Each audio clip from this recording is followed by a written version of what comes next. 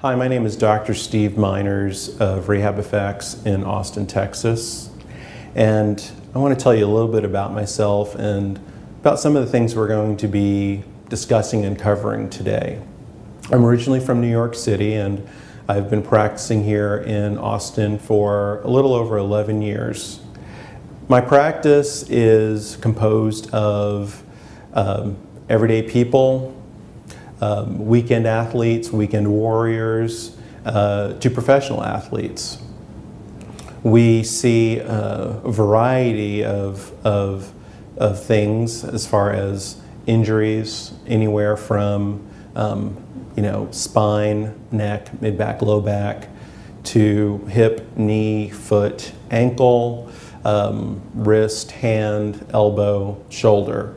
Um, we see a, great deal um, here of, of, of complaints and injuries. And we go about them traditional and, and, and sometimes unorthodox uh, ways um, to get the best result for the patient and to get them to recover as quickly as possible. Um, over the years, um, I have been um, uh, in several um, courses and, and that's allowed me to um, learn quite a bit such as you know, cold laser therapy, um, cellular bioclins, um, non-surgical spinal decompression, uh, McKenzie technique. So there's been quite a bit that, that I've done to, uh, to better serve my patients. Um, a little more background about me. Um, I attended the University of Pennsylvania and graduated um, about 20 years ago.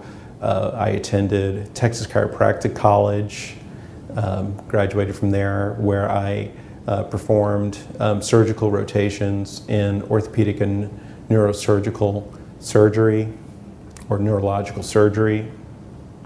I then did uh, externships in uh, nutrition as well as a multidisciplinary clinic um, that was composed of orthopedic surgery, physical medicine and rehabilitation, um, physical therapy, as well as chiropractic.